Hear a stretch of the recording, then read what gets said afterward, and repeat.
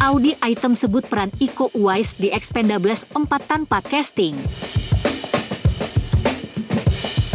The Expendables 4 alias Expendables menampilkan aktor laga populer asal Indonesia, Iko Uwais. Dalam perannya, Iko memainkan karakter antagonis bernama Suwarto Rahmat. Rahmat adalah penjahat utama dalam seri Expendables dan juga seorang teroris.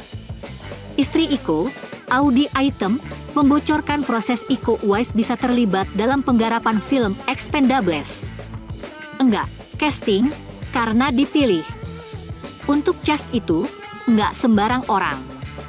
Jadi alhamdulillah Iko terpilih ada di situ. Kata istri Audi Item saat ditemui di acara special screening di Tamrin, Jakarta Pusat, Selasa, 19 September 2023. Audi Item sendiri mengaku terkejut ketika Iko ditawari bermain dalam film The Expendables 4. Kan aku nonton Expendables sebelumnya. Ketika Iko ditawarin, aku bilang, Hah? Serius? Karena untuk franchise ini kan besar banget, tutur Audi. Audi bersyukur suaminya menjadi aktor yang diperhitungkan oleh sutradara dan produser film besar di Hollywood. Alhamdulillah, Iko diberikan kesempatan untuk bisa dipilih dan ada di franchise ini, ucap Audi.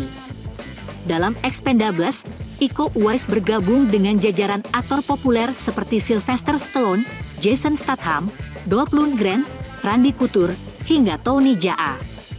Expendables menyajikan berbagai adegan aksi yang mendebarkan, adegan-adegan luar biasa, dan momen-momen tak terlupakan yang akan membuat penonton tercengang. Di Indonesia, The Expendables sudah tayang mulai hari ini, Rabu, 20 September 2023.